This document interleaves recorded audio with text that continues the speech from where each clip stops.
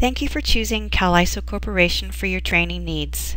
This short video clip is presented to introduce you to some basic information on the requirements of the Code of Federal Regulations, Food and Drug Administration, 21 CFR 58, Good Laboratory Practice for Non-Clinical Laboratory Studies. This part of the Code of Federal Regulations prescribes good laboratory practices for conducting non-clinical laboratory studies that support or are intended to support applications for research or marketing permits for products regulated by the FDA, including but not limited to food and color additives, human and animal drugs, and devices for human use. The sections of 21 CFR 58 are as follows. Subpart A, General Provisions, which doesn't contain any requirements but includes the scope, definitions, applicability to studies performed under grants and contracts, and inspection of a testing facility, which simply states that an authorized employee of the FDA at reasonable times and in a reasonable manner may have the authority to inspect the facility.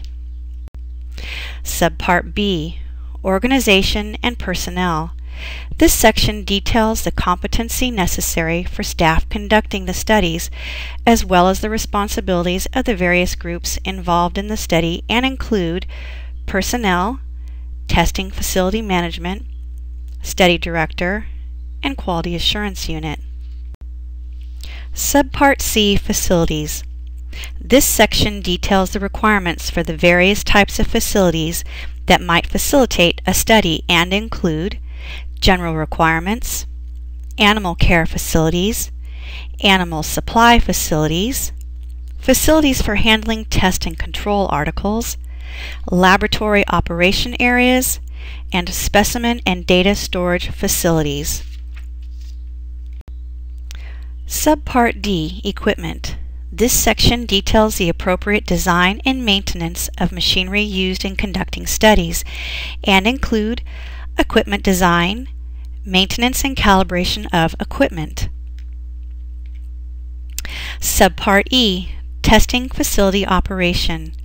Standard operating procedures are written procedures that need to be in place for the facility and the following requirements must also be included. Reagents and solutions, and animal care. Subpart F, Test and Control Articles. This section details the requirement for established and documented procedures for testing and control articles and includes test and control article characterization, test and control article handling, and mixtures of articles with carriers. Subpart G, Protocol for the Conduct of a Non-Clinical Laboratory Study. This section establishes the requirement for a written protocol to be available prior to the study and that the study shall be conducted according to the protocol. So there's a section for writing the protocol and then there's a section for conduct of non-clinical laboratory study. Subpart H and I are reserved.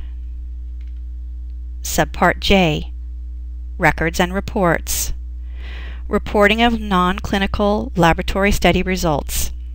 A final report shall be prepared. Storage and retrieval of records and data. Storage shall allow expedient retrieval of all data. And finally, retention of records.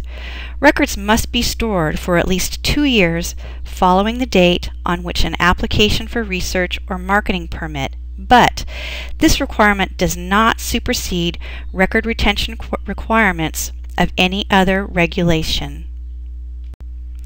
Subpart K is the largest part of this entire regulation and is disqualification of testing facilities.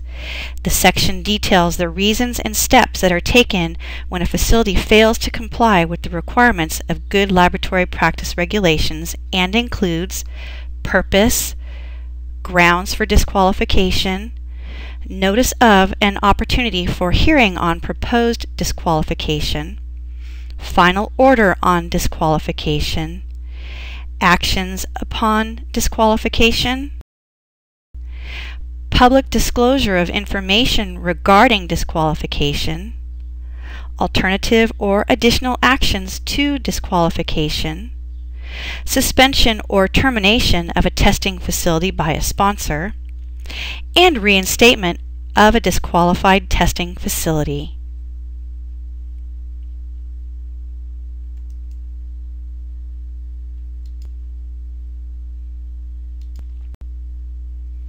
We certainly hope you enjoy this online training experience. Please proceed to the beginning of your CALISO course to receive a more in-depth training on this FDA regulation. If you should have further questions or concerns, please see our frequently asked question page on our website.